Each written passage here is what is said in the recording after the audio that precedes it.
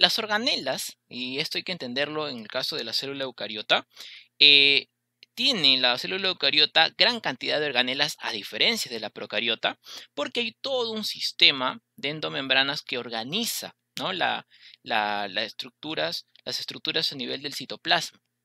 Cada una de estas organelas está especializada en cumplir diversas funciones. ¿sí? Así lo vamos a poder clasificar de esta forma. Mira, tenemos el sistema de endomembranas. ¿Ya?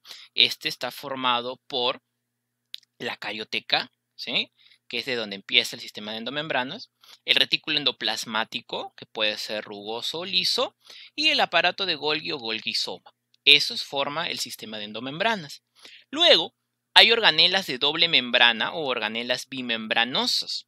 Acá vamos a tener a la mitocondria y vamos a tener a los plastidios. Por lo general decimos cloroplastos, ¿no? Vamos a hablar ahora de los plastidios. Luego, están las organelas de una membrana, organelas unimembranosas, donde encontraremos pues a los lisosomas, peroxisomas, glioxisomas, vacuolas, ya que todos ellos se pueden originar a partir del aparato de Golgi, ¿no? de las vesículas del aparato de Golgi. Y tenemos pues a los organoides que se caracterizan por no presentar membranas. Ahí está el centrosoma o centriolo, el ribosoma y los cilios y los flagelos. De esto ya lo diferenciamos entre centrosoma y centriolo más adelante. Cuatro tipos entonces para hablar de organelas. No te olvides, seguimos dentro de citoplasma, solamente que la parte de organelas es bastante amplia. ¿Ya? Ahí tenemos una imagen con respecto al retículo endoplasmático que se inicia desde aquí. Este es el núcleo. Aquí es donde se encuentra el material genético de la célula. Por acá viene la carioteca, que es la envoltura, la membrana nuclear. A partir de ahí se forma una serie de continua de sacos aquí, todos estos, que vienen a ser el retículo endoplasmático. ¿Qué se diferencia en retículo endoplasmático rugoso y retículo endoplasmático liso? Profe, ¿por qué la diferencia? Sencillo, mira. El retículo endoplasmático rugoso, ves acá que hay unos puntitos. Estos puntitos están representando los ribosomas. Entonces, el retículo endoplasmático rugoso se encarga, o, es rugoso en todo caso, porque tiene ribosomas. También se le llama granular justamente por ello. Estos ribosomas se encuentran unidos, se encuentran adheridos a los, al retículo endoplasmático mediante unas proteínas llamadas riboforinas. ¿sí? Hacia afuera tenemos por acá el retículo endoplasmático liso, que a primera vista te das cuenta pues que no tiene, no tiene los ribosomas, por eso es liso o agranular, ¿correcto? En el caso del retículo endoplasmático rugoso, este es el más extenso y tiene por función pues la síntesis de proteínas, pero estas proteínas son proteínas de transporte, es decir, son proteínas de exportación, ¿ya? Que van a salir hacia sobre todo la membrana de la célula, ¿ya? Bueno, la membrana de la, membrana citoplasmática, ¿no? Ahora, en el caso del retículo endoplasmático eh, liso, es también llamado granular, y pues este, como no tiene ribosomas, se encarga de la síntesis de lípidos. Si tengo ribosomas, formo proteínas. Si no tengo, formo lípidos. Eso es la lipogénesis, ¿correcto? Pero quizá la función que mayormente se explota en las preguntas es la función de detoxificación celular. Esa detoxificación celular es la capacidad que tiene de poder sacar de la célula, de expulsar desechos como producto de, eh, de lo que es el alcohol, de las drogas, de fármacos, de medicamentos. ¿Ya? También el retículo endoplasmático liso se encarga de la movilización de la glucosa y almacenamiento de calcio, son importantes, ¿ya? Ahora, cuando decimos lipogénesis, reformación de lípidos, esteroides, fosfolípidos, etcétera, etcétera, ¿ya? El retículo endoplasmático rugoso y liso. Tienen una función ambos que se relaciona con la renovación de la membrana citoplasmática. Y para ello necesitan a una tercera, acá, que viene a ser el aparato o complejo de Golgi o simplemente Golgisoma. ¿no? Acá está el núcleo, acá se van a formar las proteínas y lípidos a nivel del retículo endoplasmático rugoso y el retículo endoplasmático liso. Lo que hacen ellos es las proteínas y los lípidos lo van a tener que mandar hacia la parte del retículo, perdón, del complejo de Golgi. Este complejo de Golgi es el encargado de formar las, cumplir la función de la secreción celular, es decir, lo recibe, lo acomoda, lo empaqueta y lo distribuye. Cuando la proteína o el lípido llega al Golgi, el Golgi lo que hace es la glucosilación, forma glúcidos, ¿sí? cadenas glucídicas, te dice acá. Al formar glúcidos, ¿qué hace? Toma la proteína, le junta el glúcido, entonces forma una glucoproteína. Toma el lípido del liso, junta con el glúcido, glucolípido. ¿Y dónde había glucolípidos? ¿Dónde había glucoproteínas? A nivel de la membrana, específicamente a nivel del glucocálix. Por eso es importante. Y los libera el aparato de Golgi o Golgisoma mediante las vesículas. Mira, estas vesículas llegan a la membrana y permiten de esta manera que la membrana se renueve. Esa es la importancia de esta comunicación que hay entre los retículos rugoso y liso y el complejo o aparato de Golgi. Ya no olvidar eso. Entonces, Golgi, importante para poder ayudar a la renovación de la membrana plasmática gracias a la capacidad que tiene de formar glúcidos y de su secreción celular. ¿Sí? Ahí está el Golgi, mira, justamente ahí lo tenemos. Este Golgi eh, es ¿no? también llamado complejo cuerpo de Golgi, o simplemente Golgisoma, se relaciona con el retículo endoplasmático y la membrana celular, ¿no?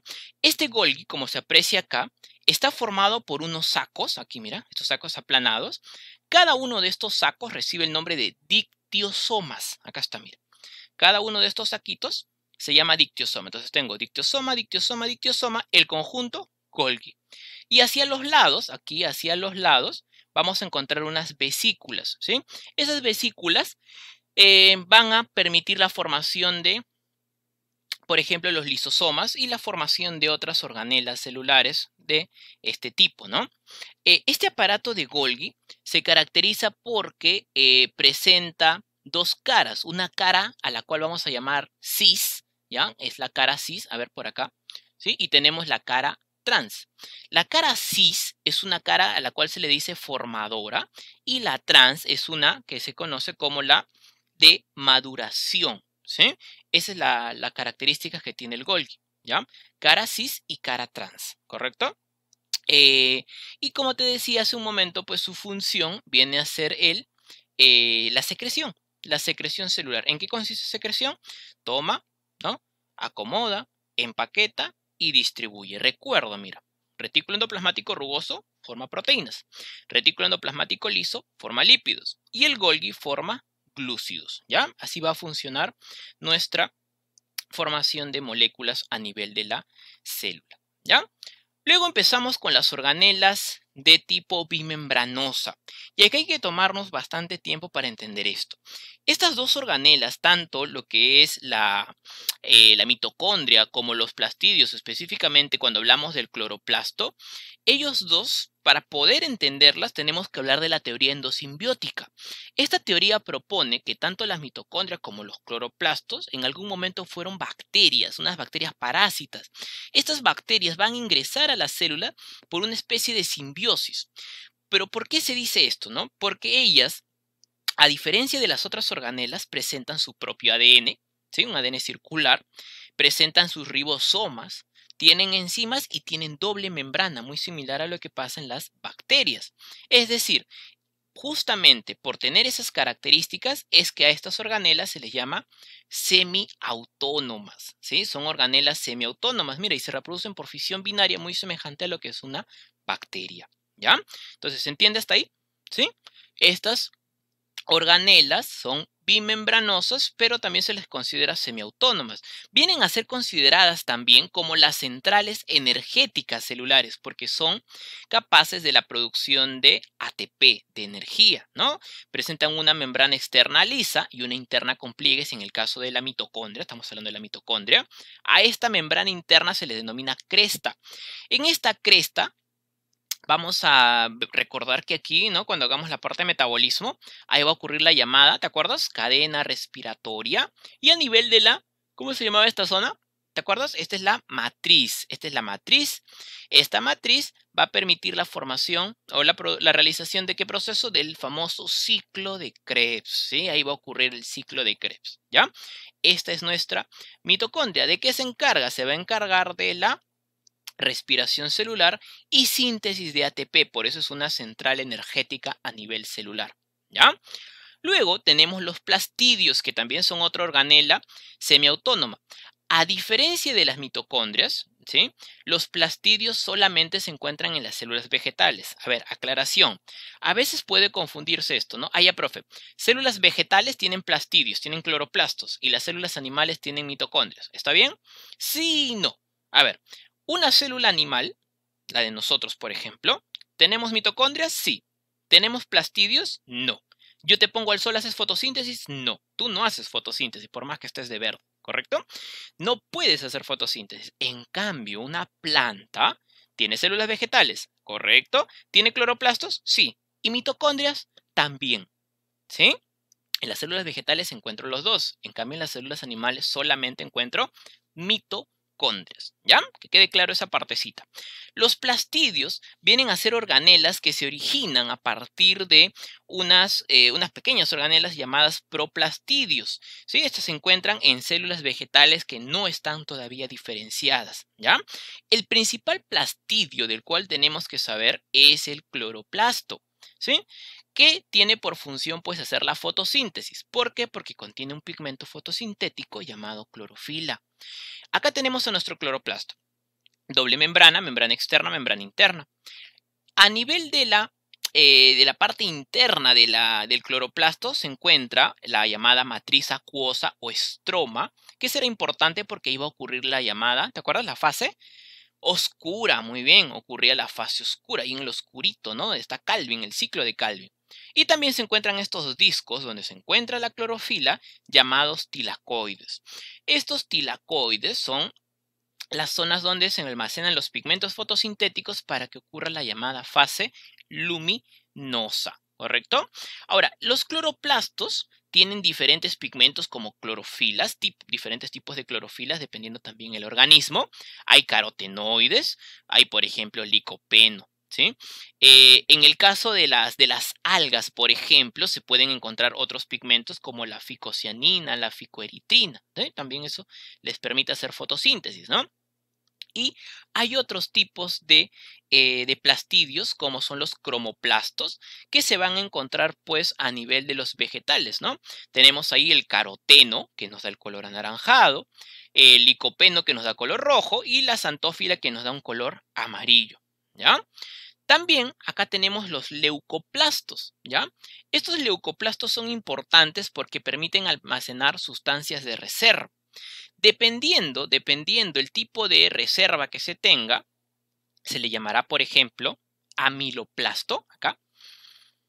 Si es que almacena almidón, proteinoplasto o aleuroplasto, si almacena aminoácidos, proteínas, oleoplasto o elainoplasto, si almacena ácidos grasos. Y acá tenemos, mira, a partir de un proplastidio, mira cómo se va formando diferentes tipos de plastidios. ¿no? Es el, el proplastidio que se convierte en un etioplasto, madura, cloroplasto o un cromoplasto, se va a diferenciar, o puede convertirse en un leucoplasto a partir de ese proplastidio. ¿no? Y ahí está pues la forma como se van a ir madurando estos plastidios para permitir pues la formación de diversos tipos, tipos de organelas. ¿Ya? Muy bien. Eh, el término, el término, eh, por acá no te olvides, eh, plastidio es exclusivo para las células vegetales, ¿ya? Donde habría almidón, por ejemplo, a nivel de la papa, de la yuca, ¿sí? Ahí podríamos encontrar lo que es propiamente amiloplastos, ¿ya?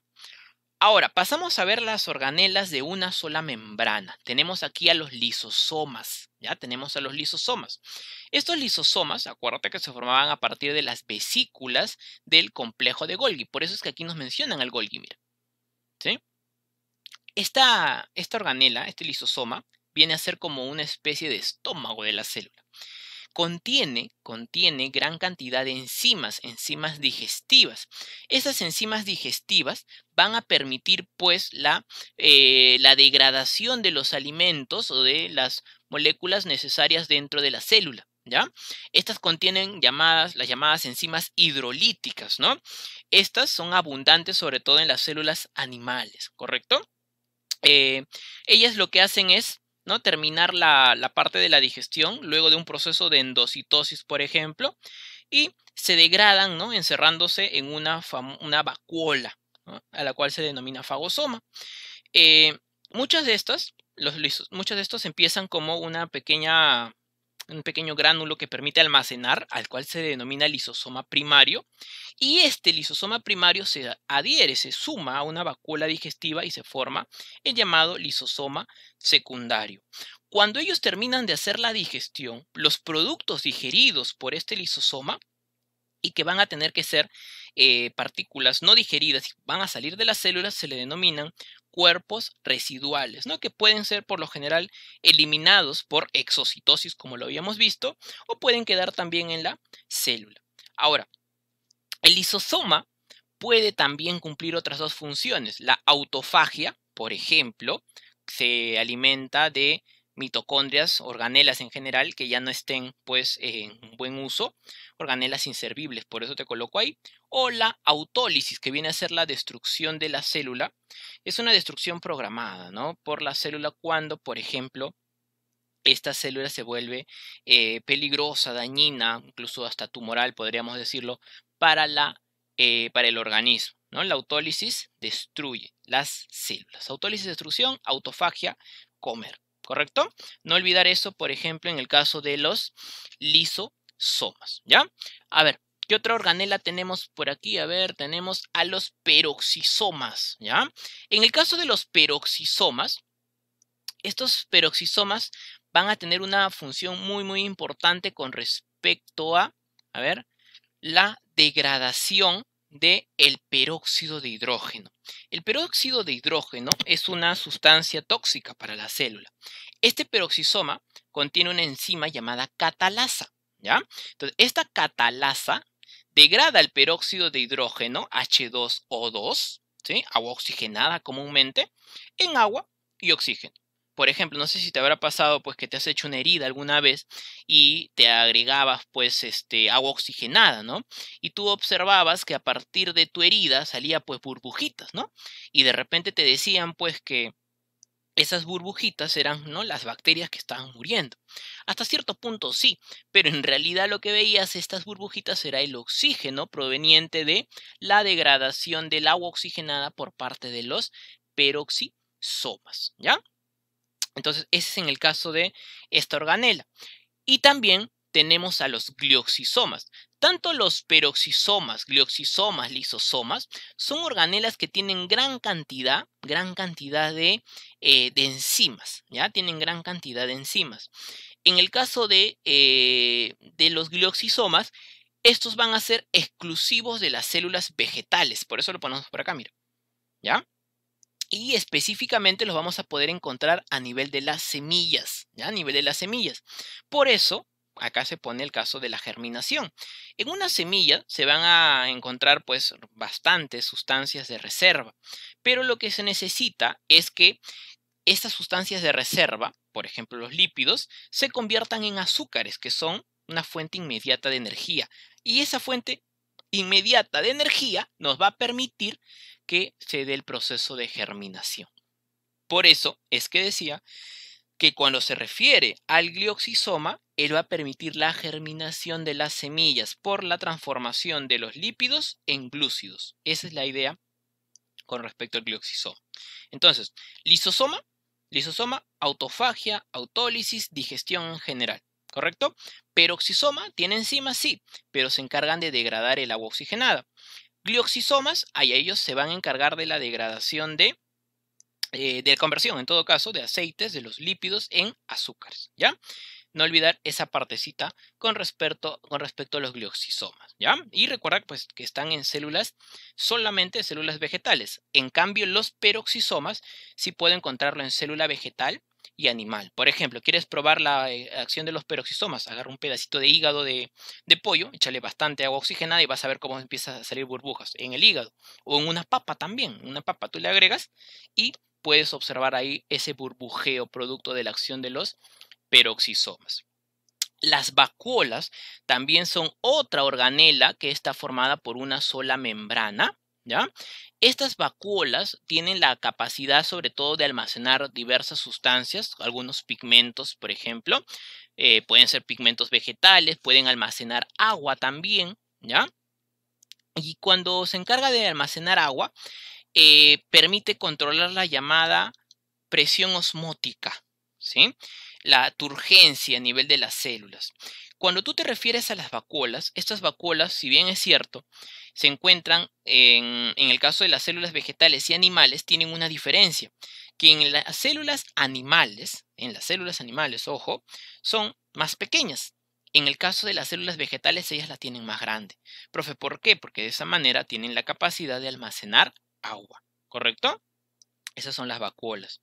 Algún datito importante de las células vegetales, de, las vacuolas. A ver, que existen tipos de vacuolas, por ejemplo acá la vacuola pulsátil, que es propiamente la que almacena agua, y hay tipos de vacuolas digestivas, las que mencionábamos hace un momento que se fusionaba con los lisosomas, ¿no? Ese es para el caso de la vacuola. Ah, su membrana, su membrana tiene un nombre peculiar, ¿no? Se le llama tonoplasto. Ese es para el caso de las vacuolas. ¿Listo? Muy bien. Y por acá empezamos ahora con los organoides. Son organelas, pues sin membrana. Por eso se les llama organoides.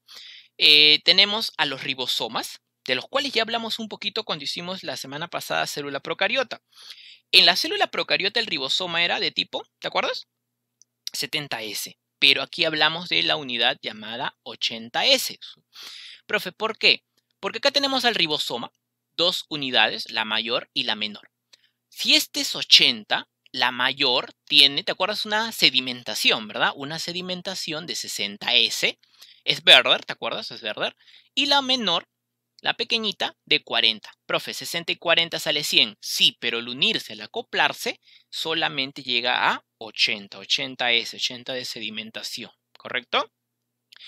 Estos ribosomas van a tener una función muy importante a nivel de la célula con respecto a la traducción, la famosa síntesis de proteínas, ya que eso se ve pues cuando se hace el tema de, del dogma de la biología, ¿ya?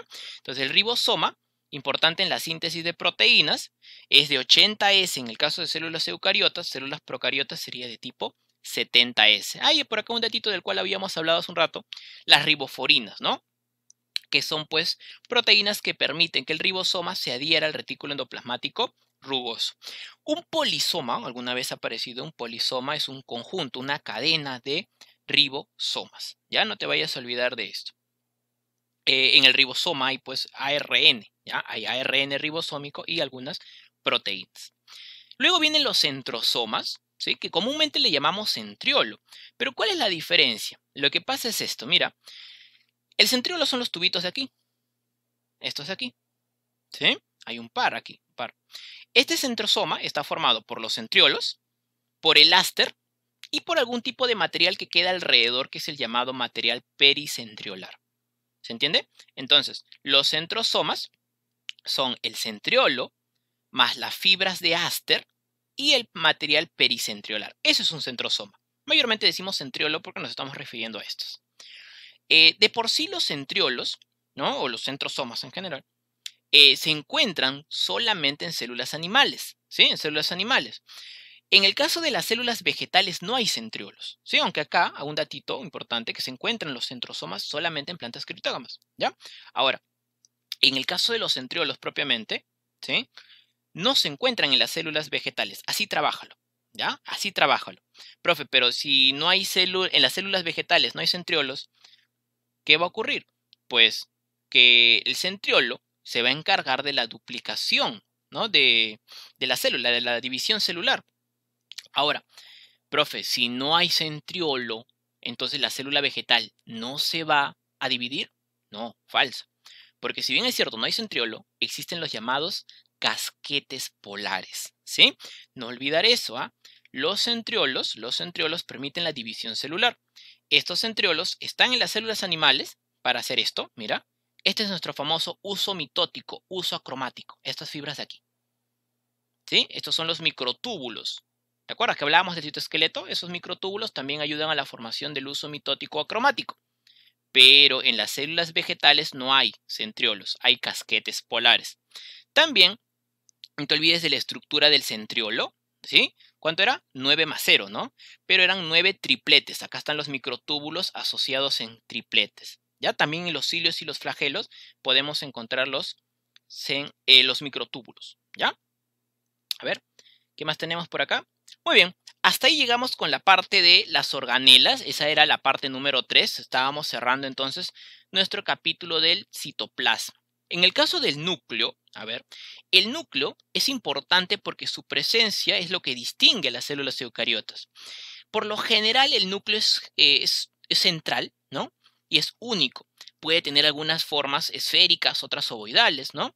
Y en algunos casos, como en las células vegetales, se ve pues desplazado hacia un costado, es un núcleo excéntrico, aplastado porque la vacuola ocupa mayor espacio, ¿no? Hay células, ¿no? Como en el caso de, algunas células musculares que presentan dos o más núcleos, ¿no? Y por lo general, cuando hablamos de un núcleo, vamos a distinguir estas cuatro partes. La carioteca, ¿sí? A ver, mira, este es mi núcleo. ¿Ves esta parte de aquí? Es la carioteca. Pero esta carioteca, si le hacemos un corte, está formada en realidad por dos membranas. Hay una membrana externa y hay una membrana interna. Es una doble membrana, externa e interna. Eh, existen espacios aquí que se denominan poros nucleares o poros de Anuli.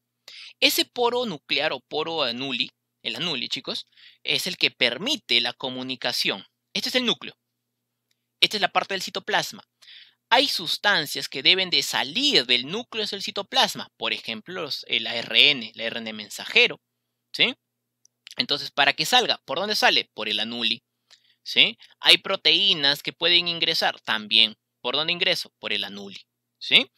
Esa es la carioteca, membrana doble y porosa. En muchos casos, la carioteca también presenta adheridos ahí los ribosomas, ¿no? como está cercano al retículo endoplasmático rugoso, también presenta ribosomas. ¿Ya? Esa es la carioteca. Luego tenemos el nucleoplasma, ¿ya? Que viene a ser la parte fluida, líquida, ¿no? Eh, del núcleo. Tiene un aspecto coloidal, ¿no? En este caso, a nivel del nucleoplasma se van a dar los procesos de replicación de ADN y transcripción. ¿Te acuerdas que en el caso del ribosoma hablábamos de la traducción de la síntesis de proteínas? Muy bien hay tres procesos que conforman este dogma de la biología. La replicación, la transcripción y la traducción. Replicación y transcripción, en este caso en la célula eucariota, se van a dar aquí, a nivel del núcleo, específicamente en el nucleoplasma, ¿no? Ahora, ese nucleoplasma también es llamado, pues, ¿no? Carioplasma, cariolinfa o simplemente también se le conoce con el nombre de el, el jugo nuclear, ¿no? También se le llama de esa manera a esta zona del el núcleo, el núcleo plasma, ¿ya? Después, eh, en el caso de, a ver, tenemos el nucleolo, que es esta bolita de aquí, Este viene a ser nuestro, nuestro nucleolo. Todo es el núcleo, todo es el núcleo, no es una célula, todo es el núcleo y este viene a ser el nucleolo. Este nucleolo es un pequeño corpúsculo que no tiene membrana, está formado por ARN y proteínas, ¿ya? Y tiene por función el ensamblar a las subunidades ribosomales. Recuerda, cuando tú te refieres al, cuando tú te refieres al nucleolo, este nucleolo está formado por ARN, no ADN, está formado por ARN, ¿ok? Ahora, el nucleolo, el nucleolo en las células eucariotas presenta la llamada, eh, presenta dos zonas, ¿no? Presenta una zona fibrilar y una zona granular. Eh, en esta zona se va a encontrar también al llamado RON. No, no, cuidado con el RON, ¿eh? no es ese tipo de RON, chicos. Significa región organizadora del nucleol, ¿no? Que está justamente implicada en la organización de los nucleolos. O sea, ¿dónde se forman los nucleolos en el, en el núcleo? En la zona del RON, ¿ya? Eh, y como te decía, pues está formado por ARN y proteínas. ¿Ya? Eh, ahora, la parte que quizá más nos interesa entender con respecto a el núcleo es esta, que viene a ser la cromatina, ¿ya? La cromatina químicamente estaba formada por ADN más proteínas histonas, ¿te acuerdas? Profe, ¿por qué le dice cromatina y no ADN? Es que acuérdate que acá hay histonas, ¿sí? ADN más proteínas histonas formamos la cromatina. Esta cromatina tiene unidades. A ver, Acá está, mira. Esta es la cromatina. ¿Correcto? ADN más histonas. Cuando estas, estas aquí se condensa, toda la cromatina, forma los cromosomas, como lo voy a hacer por aquí, mira. Es un cromosoma. ¿Ok? Ahora, a partir de esta cromatina, para poderla estudiar, vamos a ver eh, unidades, ¿sí? Las unidades de la cromatina, para poderlas estudiar, se denominan así. Mira, ¿ves por aquí? Se le llama nucleosoma. ¿Se aprecia? A ver. Aquí está la flechita. Este nucleosoma. Este nucleosoma, Este nucleosoma está formado de la siguiente manera, mira. Esta, pues, no sé si se aprecia, a ver por acá, está formado por, si cuentas las bolitas, hay ocho bolitas. Este viene a ser nuestro llamado octámero de histonas. ¿ya? En un nucleosoma encontramos el octámero de histonas. Estas histonas que se encuentran aquí son dos histonas H2A. ¿sí? Dos histonas H2A. Pero estas son H2A, ¿sí? Y estas son H2B, ¿correcto? H2A, H2B. Acá están las histonas H3 y las histonas H4. Profe, no le entendí. De nuevo, en el nucleosoma, en el nucleosoma vamos a encontrar solamente cuatro tipos de histona, ¿sí? Existen cinco, pero en el nucleosoma encontramos cuatro. Está la histona H2A, la histona H2B, la histona H3 y la histona H4, todo por dos. Por eso se llama octámero de histonas, ¿correcto? Son proteínas que están, eh, las histonas, ¿no? Son proteínas que son muy, muy ricas en aminoácidos básicos, como la lisina y como la arginina. Ya no olvidar esa partecita. Ahora, eh, esta cromatina en el interior eh, hay un determinado grado de enrollamiento, ¿no? Que le va a dar pues mayor o menor condensación. A esta cromatina que se encuentra menos condensada se le denomina eucromatina, ¿correcto? Esta eucromatina es cromatina que posee un ADN que es transcripcionalmente activo, es decir, que se va a hacer transcripción más adelante, ¿correcto? Y representa pues el 10% del material genético. Mientras que la cromatina, más condensada, más compacta, esta recibe el nombre de heterocromatina que es inactiva y representa prácticamente el 90% del material genético. Esta heterocromatina, a su vez, puede ser constitutiva o facultativa. La constitutiva es altamente condensada, ¿ya? Y en todos los tipos celulares, se encuentra en todos los tipos celulares del organismo. En cambio, la heterocromatina facultativa no está condensada en todos los organismos, ¿ya? Ahora, esos nucleosomas son importantes, ¿sí? ¿Te acuerdas? ¿Ya? Son importantes, ¿por qué? Porque están formados de esta manera, mira. Los, las histonas, ¿cuántas habían? Cuatro, ¿no? H2A, H2B, H3, H4, el octámero de histonas. Y acá hay dos vueltas, mira, este es el ADN, una, dos vueltitas. Siempre van a estar dos vueltas, dos vueltas, dos vueltas, dos vueltas. En esas dos vueltas del ADN, se encuentra un total de 146 pares de nucleótidos, ¿sí? Y entre nucleosoma, a ver, acá está un nucleosoma. Entre nucleosoma y nucleosoma hay un ADN al cual se le denomina el ADN espaciador, ¿sí? Ese ADN espaciador eh, contiene también nucleótidos, entre 20 y 60 nucleótidos. A ver, recapitulamos porque yo sé que seguramente ya has volado. En un nucleosoma hay un octámero de histonas. ¿Qué histonas hay? H2A, H2B, H3 y H4. ¿Qué histona no forma parte del nucleosoma? La histona H1. ¿Sí? Histona H1. ¿Cuántas veces da vuelta el ADN? Dos.